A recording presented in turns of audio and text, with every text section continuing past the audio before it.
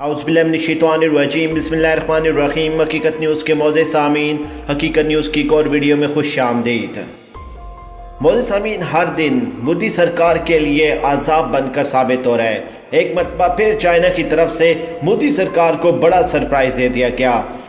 China ने मकबूजा वादी के बारे में बड़ी डेवलपमेंट कर दी। मोदी सरकार के होश ठिकाने आ गए। दूसरी तरफ़ अमेरिका ने तीन बैरी बेड़े जहाज़ों से भरे चाइना के खिलाफ बड़े जहाज़ लड़ाई के लिए समंदर में उतार दिए और चाइना ने ऐलान जंग कर दिया।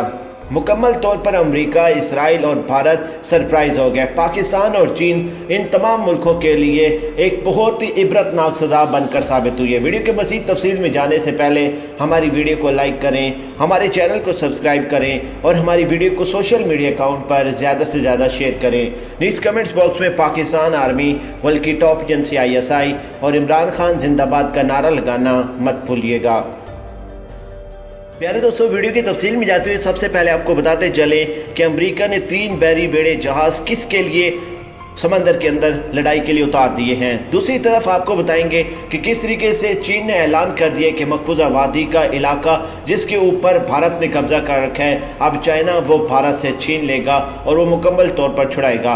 वीडियो की तफसील में जाते हुए आप आपको बताते चलें कि अमरीका ने तीन बहरी बेड़े जहाज़ों से भरे हुए मुकम्मल तौर पर जंगी बेड़े चाइना के खिलाफ कार्रवाई के लिए समंदर में उतार दिए हैं। मोदी सरकार की जानब से डोनाल्ड ट्रंप के सामने इल्तजा की गई थी कि हमें चाइना से बचाया जाए।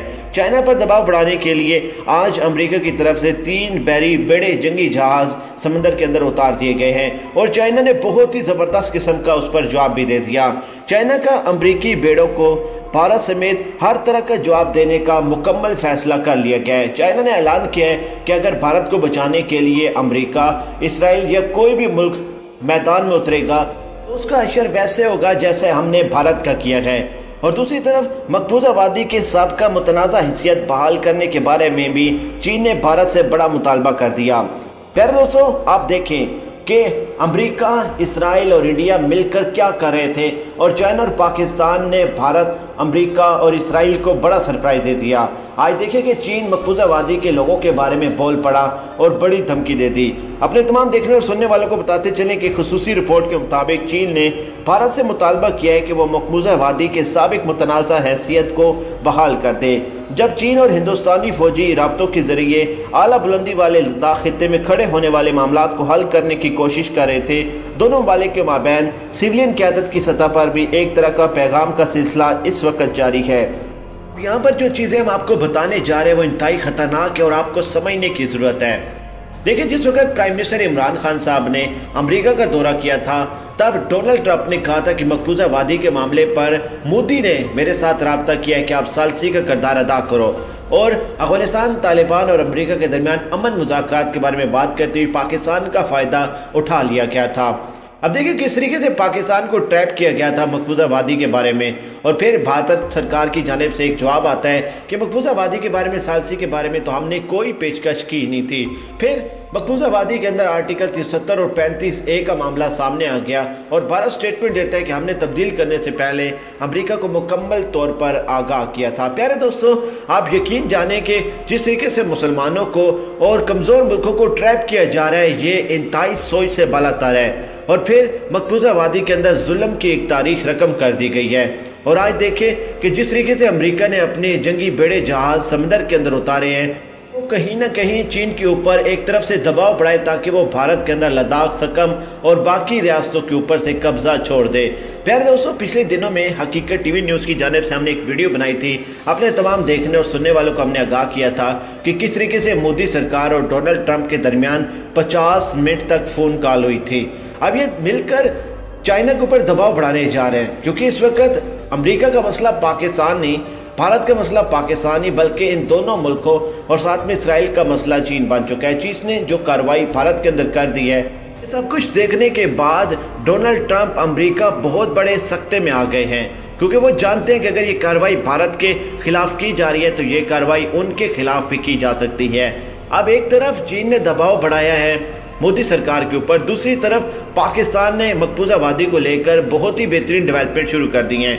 अब वो 50 मिनट की फ़ोन कॉल में मोदी सरकार ने बार बार डोनाल्ड ट्रंप से ये कहा कि हमें बचा लो, लेकिन एक तरफ़ डोनाल्ड ट्रंप ने मोदी सरकार को कहा कि आप अपनी फौजें उतारें। जब मोदी सरकार और उसकी फौज इनके खिलाफ लड़ने से इनकार हो गई, तब अमरीका ने कहा कि हम एक तरफ़ से मुकम्मल तौर पर दबाव डालेंगे। आज देखें कि अमरीका की तरफ़ से दो जंगी बेड़े समंदर में उतार दिए गए और उस पर चीन का फौरी जवाब भी आ गया है। चीन ने कहा है कि भारत को बचाने की कोशिश अगर कोई करेगा तो फिर वो भी उन तमाम चीज़ों में शामिल हो जाएगा जो भारत के खिलाफ की जा रही हैं। और इसके अलावा सबसे अहम चीज़, आप देखें कि मकबूजा वादी के लोगों के बारे में चीन ने बड़ा बयान दे दिया है। चीन ने कहा है कि मुजाकरात में अब मकबूजा वादी के अंदर जो अपने आइन की हैसियत चेंज की है, उसको भी डिस्कस किया जाएगा। पहले दोस्तों, मोदी हुकूमत ने गुजशत साल अगस्त में हिंदुस्तान आइन के आर्टिकल सैंतीस को मनसूख कर दिया था। जिसने जम्मू कश्मीर के इलाके को एक खास दर्जा फराम किया था। चीन ने इस वक्त गुस्से में रद्दमल का इजहार किया था क्योंकि इस तब्दीली ने लद्दाख की हैसियत को भी मुतासर किया था, जिसका दावा बीजिंग ने किया है। इस मसले को अकवा मुतहदा की सलामती कौंसिल में भी ले गया। ताम, ये पहला मौका है कि जब मकबूजा वादी में मोदी के पाँच अगस्त के इकदाम से चीन और भारत के दरमियान मौजूदा तातुल को जोड़ा जा रहा है। अगरचे लद्दाख की सूरत हाल और कश्मीर के दरमियान ताल्लुक से मुतलिक बीजिंग या नई दिल्ली से कोई बाबा लफ्ज़ नहीं है, लेकिन एक चीनी स्कॉलर जो एक बासर चीनी थिंक टैंक के साथ काम कर रहा है उसने लिखा है कि एक हालिया मजमून जिसमें भारत के साथ चीन के सरहदी तनाज़े का इशारा किया गया। जब से चीन ने मकबूजा वादी के बारे में मुजाकर के अंदर बात करने का ऐलान किया तब से भारत और मोदी सरकार के ऊपर एक शोक का समा तारी हो चुका है। एक इस किस्म की थरथराहट आ गई है कि उनको समझ नहीं आ रहा कि वो चीन को किस तरीके से कंट्रोल करें। ना उनके खिलाफ वो फौजी उतार पा रहे हैं, ना उनके खिलाफ को वो कार्रवाई कर रहे हैं, ना उनके साथ मुजाकर कामयाब हो रहे हैं और ना ही अमरीका इस मामले में उनकी कोई हेल्प कर रहा है। लेकिन मोदी सरकार और डोनाल्ड ट्रंप के दरमियान 50 मिनट की फ़ोन कॉल का आज पहला रिज़ल्ट हमारे सामने आया है, जब अमेरिका की जानब से दो जंगी बेड़े समंदर के अंदर चीन के ऊपर दबाव बढ़ाने के लिए उतार दिए गए अब एक तरफ़ अमेरिका चाहता है कि वो चीन के ऊपर दबाव डाले। याद रहे कि इससे पहले भी अमेरिका और चीन के दरमियान में कशीदगी का एक हाई लेवल बन चुका था, जब इस खतरनाक वबा को लेकर चीन ने अमेरिका के ऊपर और अमेरिका ने चीन के ऊपर इल्ज़ाम आयद किए थे।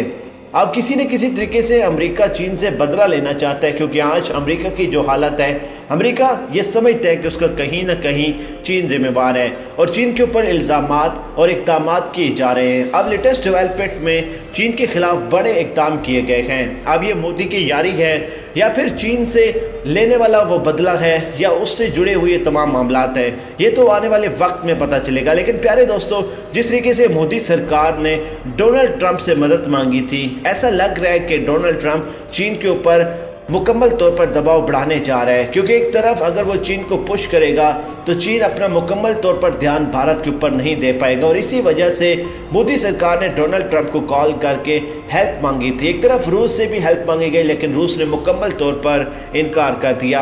अब चीन अपनी फौजें उतार रहा है, अपने मामला मनवा रहा है। मकबूजा वादी के बारे में भी उन्होंने कहा है कि आपने जो आर्टिकल की आइन और तमाम चीज़ें की हैं मकबूजा वादी के ऊपर कब्जा है। उनके लोगों के ऊपर जुल्म सितम है। ये तमाम तर चीज़ों पर आपके साथ मुजाकर पर बात होगी। और मकबूजा वादी के बारे में चीन ने वाज तौर पर यह स्टेटमेंट दिया है कि यह हमारे मुजाकर का हिस्सा बन चुका है। अब ये देखें कि एक तरफ़ मोदी सरकार को मकबूजा वादी पर बड़ा सरप्राइज़, दूसरी तरफ़ भारत और अमेरिका की दोस्ती का एक नया सबूत जो डोनाल्ड ट्रंप ने अपने जंगी बेड़े तो समंदर के अंदर उतार दिया और उस पर चीन ने रद्दमल दे दिया कि आपकी हालत भी हम इंडिया वाली करेंगे।